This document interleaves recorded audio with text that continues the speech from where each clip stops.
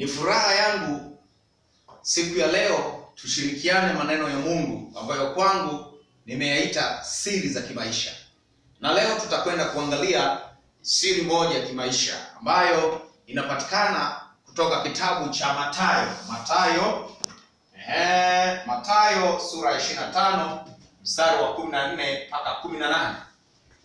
Mathayo sura ya 25 mstari wa 14 mpaka 18. Ah, ukisoma maandiko haya utakutana na bwana mmoja alitaka kusafiri na alisafiri. Alipokuwa na safiri, alikuwa na talanta, zile talanta zake akawa, akawapa watu watatu. Wa kwanza alimpa talanta tano na wa pili alimpa talanta mbili na wa mwisho wa tatu akampa talanta moja. Lakini Biblia inaongea kitu cha kipekee sana. Katika kuzigawa zile talanta, aliwapa talanta kutokana na uwezo wao. Maana yake mtu aliyopewa talanta tano hakupewa tu, alipewa kutokana na uwezo wake. Mtu aliyopewa talanta mbili hakupewa tu, isipokuwa alipewa kutokana na uwezo wake, na mtu aliyepewa talanta moja kadhalika alipewa kutokana na uwezo wake. Leo katika siri za kimaisha, nataka nikufundishe habari za kipawa. Kipawa, neno kipawa, neno kipawa tunaweza kusema maana yake kipawa. Ukienda Kilatini, neno kipawa linatamka kama matani, matani, matani, namna hii, matani, likiwa na maana ya zawadi, zawadi. Hivyo basi kipawa ni zawadi. Nani anayetoa hii zawadi? Zawadi hii inatoka moja kwa moja mbinguni kwa Mungu. Mungu anakupa pale tu unapokuwa umezaliwa, pale tu unapokuwa umeanza maisha duniani hapa, moja kwa moja Mungu anakuwa anakupa kipawa, anakupa zawadi. Kwa hiyo sasa, kipawa ni nini? Hii tunaita zawadi. Kipawa ndio uwezo, uwezo. Kipawa ni uwezo ambao mtu anaweza kufanya jambo fulani kiurahisi sana, tofauti na mwingine. Kipawa kinakupa uwezo wa kulikabili jambo fulani kiwepesi sana bila kutumia nguvu nyingine. Hiko ndo tunasema kipawa. Hivyo basi, nataka uelewe kwamba wewe hapo unaonisikiliza unacho kipawa ambacho Mungu amekupa moja kwa moja, ukitumie ili uweze kufanya maisha yako yawe ya manufaa duniani. Kipawa kinakusaidia kufanya mambo makubwa kwa wepesi. Sasa shida kubwa tulionayo sasa hivi, watu wengi hawajui vipawa vyao. Vipawa, mtu ajui kipawa chake. Wanaposema kipawa au vipawa, ni karama, zawadi, uwezo eh, Mungu aliyokupa. Tunao vipawa vingi sana. Sasa Mungu alitupa vipawa kwa kila mmoja mmoja wetu, au kila mmoja alipewa karama ili aweze kumudu mazingira ya duniani, ili aweze kumudu ulimwengu. Ngoja nikwambie, watu wanaopata shida sana duniani ni wale ambao wameshindwa kutambua karama zao ni nini hapa duniani. Unakuta mtu anaparamia karama isiyo yake. Nimeona pia watu wamesoma eh, vio mbalimbali, wana digrii ya kwanza, ya pili, baadaye anakuja kushtuka, ah, hii mbona hii digrii ambayo nimeichukua mbona ni kama inisaidii. Unakuta mtu haipendi tena, afurahii. Nimeona waliosoma digrii ya ualimu wanaachana na ualimu. Nimeona waliosoma digrii ya udaktari wanaachana na udaktari. Kwa nini? Haikuwa karama yao. Maana yake ni kwamba Mungu hakuweka uwezo huo wa kumsaidia kuishi duniani.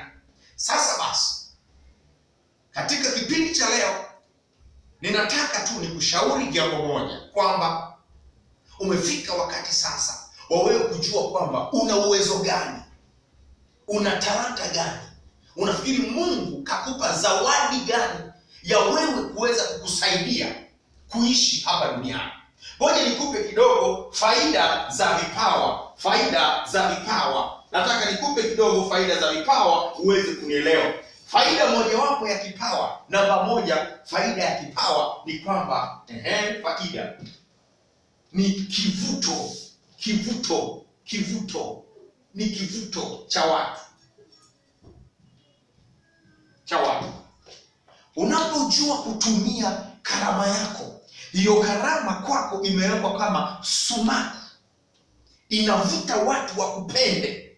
Inavuta watu wakutumie. Inavuta watu wakuite wewe wa- uwasaidie jambo fulani. Biblia inasema kwenye kitabu cha mithali ya kwamba zawadi ya mtu humpeleka mezani pa wakubwa. Wewe nikwambie umewahi kushangaa kwamba unakuta watu hana elimu yoyote lakini anafahamiana na wakuu wa nchi? Kwa mfano tu tanzania hapa tunao watu wa, tunao hawa tunao watu mbalimbali wanaotumia vipawa vyao vinawafanya wafahamike wanaitwa na wanapoitwa wanafanya shughuli zao wanalipwa fedha inavuta kwa mfano mtu kama joti anaitwa na makampuni makubwa kama tigo eh, gsms eh, vodacom. Mtu kama masanja mkandamizaji eh, anaitwa na watu bali anafahamiana na waziri mkuu fahamiana na rais. Kwa nini kilichompeleka kule sio ule umasanja wake au sio ule ujoti wake? Hapana. Kilichomsaidia ni hii zawadi. Kipawa kimekuwa kivuto kinavutia watu wengine. Ndugu waje nikwambie siri ya maisha ni hii. Gundua kipawa chako ili uwe na maisha mepesi hapa duniani. Lakini faida nyingine ya kipawa ni kukuimarisha kukuimarisha kukuimarisha. Yes inakuimarisha nguvu yako uimara wako hapa duniani hauko sehemu nyingine. Unatokana tu na kipawa chako. Unakuimarisha unakuimarisha kijamii unakuimarisha kiuchumi. Tuangalie hawa wachezaji wa mpira ambao ni mafamous duniani. Mtu kama cristiano ronaldo mtu kama messi eh, wametumia talanta zao uwezo wao wa mpira kujiimarisha kujiimarisha. Sasa tunaona kwa mfano kwenye ugonjwa wa corona mtu mmoja tu messi anatoa bilioni mbili. Ronaldo anatoa siu bilioni mbili. Nini kilichowasaidia kuimarika? Ni ile talanta waliokuwa nayo. Imewasaidia wamejiimarisha kiuchumi. Sasa unaona wameimarika kiuchumi sio wao peke yao sasa unaowanufaisha. Unawanufaisha na watu wengine. Hivyo basi mungu ameweka karama kwako sio tu ikusaidie wewe ikuimarishe hapana. Ameweka karibu kwako pia ili iweze kuwasaidia na wengine. Uimarishe wengine. Kwa mfano karama za uimbaji. Leo hii nani awafahamu waimbaji wakubwa hapa duniani? Hapa tanzania. Wanaitwa kwenye mikutano mikubwa wanauimarisha mwili wa kristo. Wanawafurahisha wengine. Wale waliokuwa wamekata tamaa wanainuliwa tena. Wale waliokuwa hawawezi tena wanaona wanaweza. Kupitia tu karama ya uimbaji ya mtu mmoja.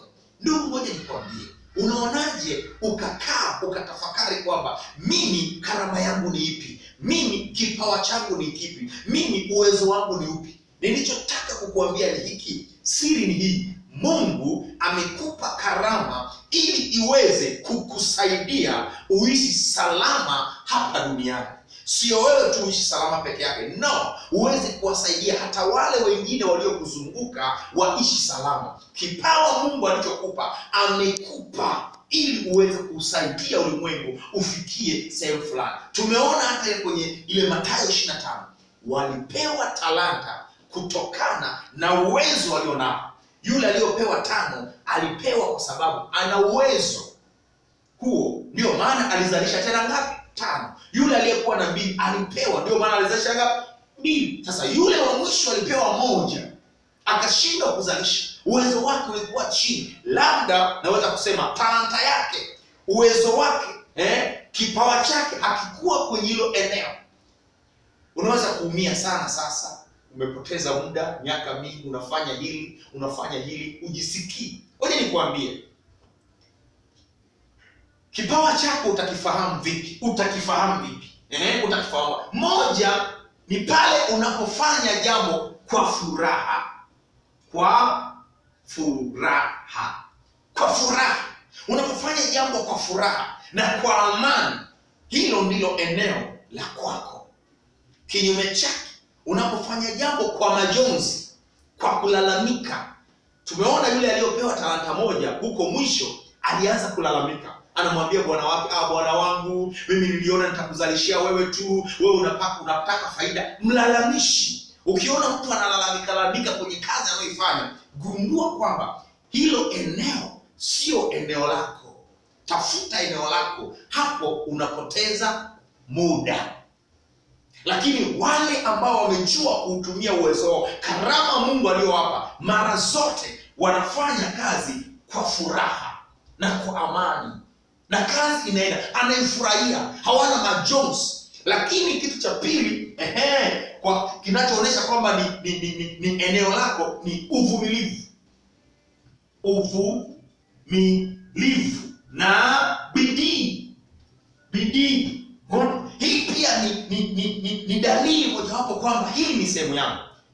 Kuna watu wengine uwezo waliopewa ni mpaka afanye practical ndio uwe mzuri tunamsikia Cristiano Ronaldo yule pale.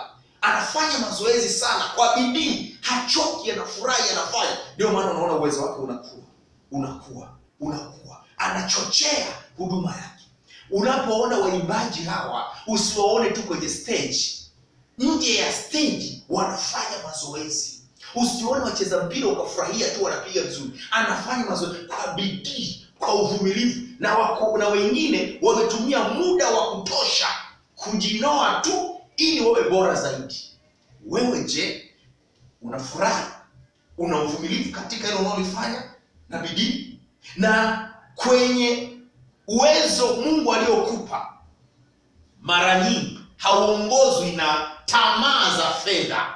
Tamaa za fedha hazikuongozi ukiona uwezo wako kama ndio uwezo wako fedha kwako sio ishu kwa sababu unajua unaukomaza uwezo wako na baada ya muda fulani fedha zitakuja. Wenye uwezo wao wanaojua ni talanta yangu hii hapati shida. Anakwenda anajua kesho yangu inakuja nitafanya. Sasa ukiona unang'ang'ania jambo kulifanya ili tu upate fedha kwa wakati huo hilo sio eneo lako. Acha tafuta la kwako. Inawezekana. Na nani basi anaweza kukuambia wewe una uwezo gani? Very simple. Mwombe mungu atakuonesha njia gani na wewe una uwezo gani. Au ni kitu gani? Kama utafakari kwamba wewe huwa unapenda kufanya mambo gani. Unataka kuwa mvumilivu unabidia mambo gani? Basi hapo utajua kipawa chako ni kipi na kisha mungu atakusaidia ninakubariki sana jioni ya leo. Mungu akubariki na kusamani na kuombea mungu akusaidia kujua karama zako. Katika jina la yesu amen